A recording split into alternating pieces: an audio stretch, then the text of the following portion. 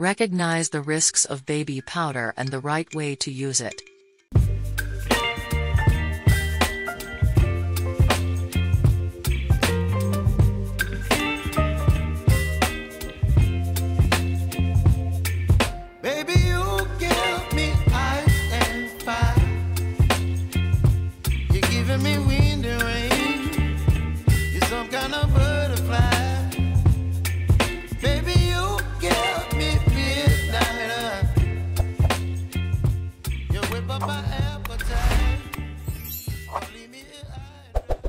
Baby powder is usually used to keep baby's skin dry, feel soft, and smell good. However, mothers need to be more careful in choosing and using baby powder. This is because improper use can cause problems in the baby's health. Baby powder is generally made from magnesium silicate powder or cornstarch. In addition to making baby's skin soft and fragrant, parents also usually use baby powder to prevent and treat diaper rash around the baby's buttocks and genital area. However, parents also need to be vigilant in using baby powder, especially if it is used around the baby's face and nose.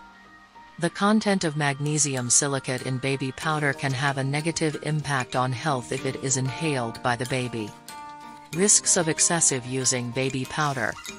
Mothers should use baby powder for their little one in moderation. Excessive use of baby powder or in too much amount can cause several health problems, such as irritation. The use of baby powder containing magnesium silicate can cause irritation to the baby's skin which is still sensitive. If you want to dry your little one's skin after bathing, it's better to use a soft towel instead of baby powder.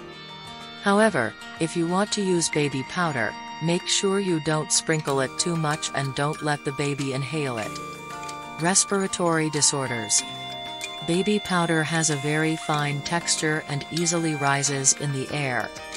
This causes baby powder particles, either magnesium silicate or corn flour, to be easily inhaled by babies.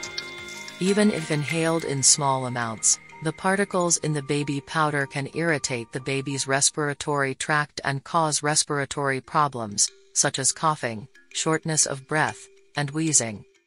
Lung cancer. The content of magnesium silicate in baby powder is also believed to trigger cancer. This is because baby powder with these ingredients usually contains a dangerous substance called asbestos, which is a carcinogenic substance that triggers the growth of cancer cells. When asbestos is inhaled for a long time, this can increase the baby's risk of developing lung cancer. How to reduce side effects of using baby powder.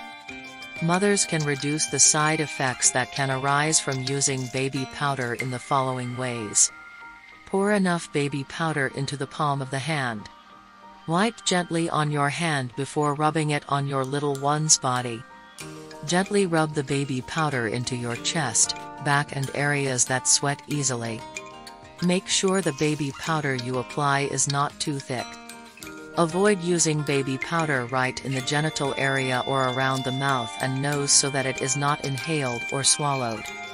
Apart from knowing how to use baby powder properly, mothers also need to know how to choose baby powder products that are suitable for your little one's skin. Make sure the baby powder used is registered with the Food and Drug Supervisory Agency, BPOM. Mothers can also choose a powder containing purified talc, labeled hypoallergenic, and has a soft and not too sharp fragrance. Baby powder that contains talc is more at risk of causing health problems if inhaled in large quantities to choke the baby or in small amounts, but in the long term.